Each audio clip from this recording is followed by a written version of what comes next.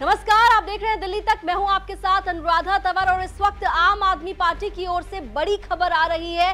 जानकारी ये है कि आम आदमी पार्टी ने अपनी पॉलिटिकल अफेयर्स कमेटी की, यानी कि पीएससी की बैठक बुलाई है।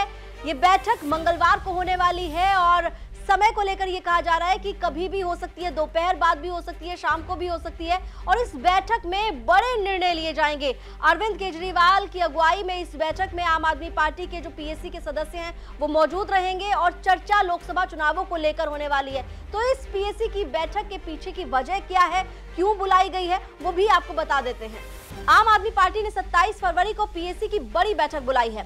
इस बैठक में लोकसभा चुनावों में उम्मीदवारों के नाम की घोषणा हो सकती है। आम आदमी पार्टी कांग्रेस के साथ मिलकर आगामी लोकसभा चुनाव लड़ रही है, जिसमें दिल्ली में आम आदमी पार्टी के खाते में चार सीटें आई हैं। आम आदमी पार्टी दिल्ली में पश्चिमी दिल्ली, दक्षिणी दिल्ली, पूर्वी दिल्ली और नई दिल्ली सीट पर अपने उम्मीदवार उतारेगी। तो आम आदमी पार्टी ने पीएससी की बैठक इसलिए बुलाई है ताकि लोकसभा चुनावों में दिल्ली के भीतर किन उम्मीदवारों को मैदान में उतारा जाए, उनके नामों को लेकर चर्चा की जा सके, नाम पर मंथन हो सके और ये भी जानकारी मिल रही है कि कल ही पीएससी की बैठक के बाद आम आदमी पार्टी अपने उम्मीदवारों का ऐलान भी कर सकती है। तो ज़ाहिर है, कल बहुत महत्वपूर्ण दिन रहेगा आम आदमी पार्टी के लिए, क्योंकि कल आम आदमी पार्टी अपनी पीएससी की बैठक में दिल्ली के भीतर जो चार लोकसभा सीटें आम आदमी पार्टी के खाते में आई हैं, कांग्रेस के साथ गठबंधन है क्योंकि आम आदमी पार्टी का तीन पर कांग्रेस लड़ रही है, चार पर आम आदमी पार्टी लड़ रही है। तो चार उम्मीदवारों के नाम को लेकर चर्चा कल पीएससी की बैठक में होने वाली है और फिर नाम का ऐलान भी कल संभव बताया जा रहा है। फ़िलहाल तो जब ये बैठक होगी, तब पता चलेगा कि क्या फाइनल हो गया है नाम, किसको अरविंद केजरीवाल टिकट देंगे, अरविंद केजरीवाल किस पर भरोसा जताते हैं।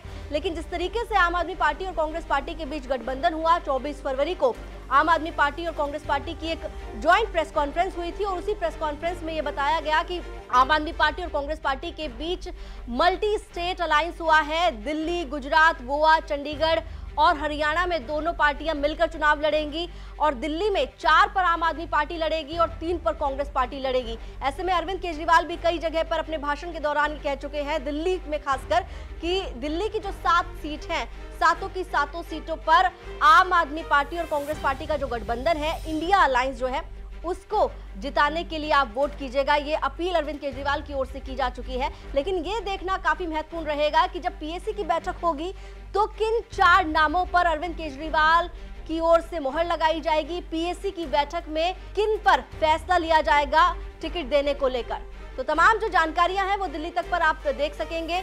पीएससी की बैठक में क्या हो रहा है, उससे जुड़ी हुई तमाम खबरें भी आप देख सकेंगे। और दिल्ली में क्या हलचल है, वो तमाम जानकारी दिल्ली तक उपलब्ध है।